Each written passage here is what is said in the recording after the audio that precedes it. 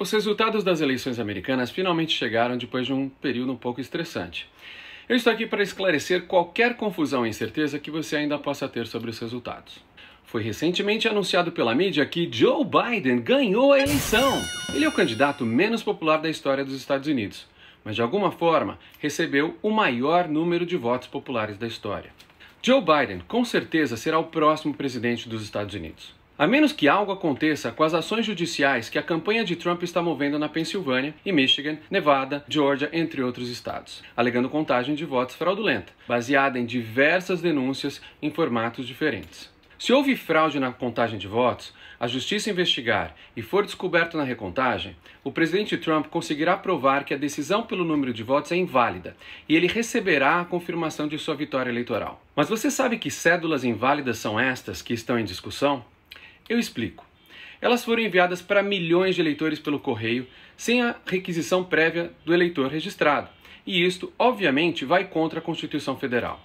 Além dessa primordial irregularidade, os exemplos dos focos de investigação são cédulas enviadas para aqueles que estariam hipoteticamente habilitados, mas sem o devido registro para votar, o equivalente ao processo do título eleitoral no Brasil. Ainda temos cédulas duplicadas, triplicadas, quadruplicadas, etc., para um mesmo eleitor, registrado ou não, cédulas enviadas para menores de 18 anos de idade, a idade mínima para votar aqui nos Estados Unidos, cédulas sendo enviadas para, para, para quem tem green card, que são os residentes permanentes, mas que não podem votar, isso sendo inclusive crime federal, penalizado com multa e até prisão, o que obviamente pode comprometer o processo imigratório desses que votarem legalmente. E saber disso é a principal e mais importante obrigação de quem está passando por este processo ou seja, saber que só cidadãos podem votar, estes tendo nascido nos Estados Unidos ou sendo devidamente naturalizados. Votar sem direito legal apenas porque recebeu uma cédula pelo correio, sendo imigrante ilegal, tendo qualquer tipo de visto ou mesmo tendo green card, é caracterizado como crime de se passar por cidadão, o crime mais grave que uma pessoa que está em processo imigratório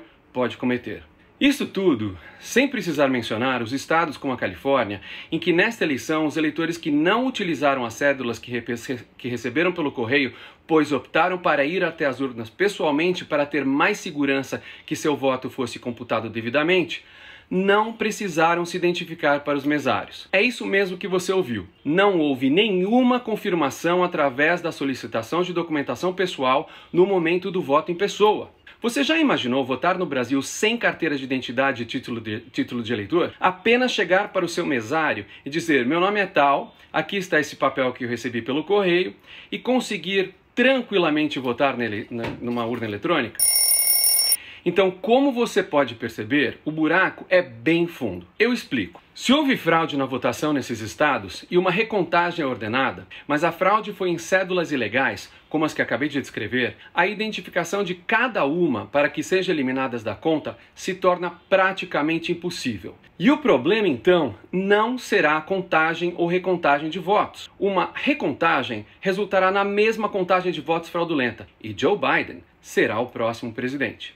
Seguindo esse raciocínio lógico, dentro das possibilidades, será improvável que a campanha de ações judiciais de Trump tenha sucesso. Por quê? Fornecer evidências factuais prováveis de fraude eleitoral será muito difícil, de modo que as recontagens podem nem mesmo ser concedidas em alguns estados. É importante notar, porém, que o secretário de Estado da Georgia já ordenou uma recontagem. Georgia, com seus 16 votos eleitorais, que originalmente foram para Biden, poderiam ser atribuídos a Trump o que não mudaria os resultados da eleição, porque ainda não daria a ele os 270 votos necessários. Então, Joe Biden continuaria a ser o presidente. A menos, é claro, que a Suprema Corte dos Estados Unidos decida sobre o caso da Pensilvânia, onde a Suprema Corte da Pensilvânia, que permitiu a contagem das cédulas pelo correio atrasadas, violou a Constituição dos Estados Unidos, pois o deadline oficial não pode ser modificado. Nesse caso, esses votos seriam rejeitados, e se forem o suficiente para o total cair a favor de Trump, os 20 votos eleitorais da Pensilvânia seriam atribuídos a ele.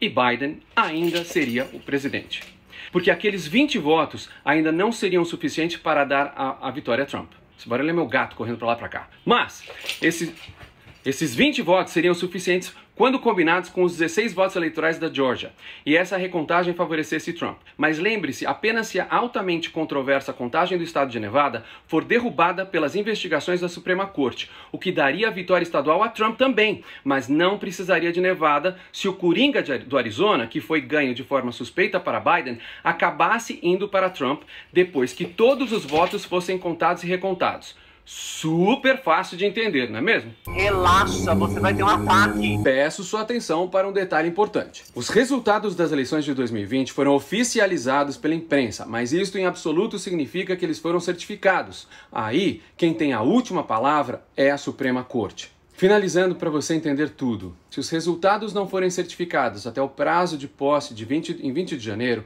a presidente da Câmara, Nancy Pelosi, do Partido Democrata, torna-se presidente dos Estados Unidos by default, segundo a Constituição americana. No entanto, é muito improvável que os resultados das eleições não sejam certificados pela Suprema Corte até lá. Mas, de novo, respira com todos os processos legais sendo postados pela campanha de Trump, e nem preciso mencionar quaisquer contrações movidas pela campanha de Biden, se algum dos resultados estaduais for anulado, é justo dizer que os resultados das eleições têm uma chance real de não serem certificados até o prazo de janeiro. E então, Nancy Pelosi realmente seria a próxima presidente dos Estados Unidos. Eu explico. Se todas as investigações estiverem definidas, depois que todas as recontagens forem feitas, se Trump e Biden terminarem empatados com 269 votos, lembre-se que são necessários 270 para uma comprovação legal. Segundo o que dita a Constituição americana, a Câmara, recém-eleita, através de um consenso interno, selecionaria o próximo presidente e o Senado escolheria o vice-presidente entre os três candidatos principais. Eu explico. Se isso acontecer, a Câmara controlada pela esquerda, democratas, escolheria obviamente presidente Joe Biden para ser o próximo presidente. E o Senado, com sua maioria republicana direita,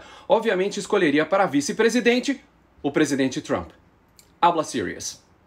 E a Michigás, que você está tendo a magnífica oportunidade de presenciar nesse nosso muito lúcido planeta Terra, não termina aqui. Respira de novo. Dentro desse cenário hipotético, mas absolutamente possível, se o presidente Biden falecer, então o vice-presidente Trump será o próximo presidente. Tem mais. Em outro cenário, supondo que Biden mantenha a vitória eleitoral durante a posse em janeiro e se torne o presidente, após um breve período depois de assumir o cargo, Kamala Harris se tornaria a próxima presidente dos Estados Unidos, quando Biden, surpreendentemente, se tornaria inapto para exercer a presidência devido ao seu estado de saúde, tornando-o incapaz para o serviço. Você deve se lembrar de Kamala Harris nessas eleições recentes. Ela concorreu à presidência sob o pseudônimo de Joe Biden. Aí está, a eleição americana de 2020 está oficialmente concluída e você pode ficar à vontade com toda essa clareza e voltar tranquilo a lembrar de ter medo do Covid-19. Meu nome é Renato Ackerman e você não está dentro de um episódio do Twilight Zone. We have put together, I think, the most extensive and inclusive voter fraud organization in the history of American politics. Ainda não daria eles dos Meu Gato Caiu.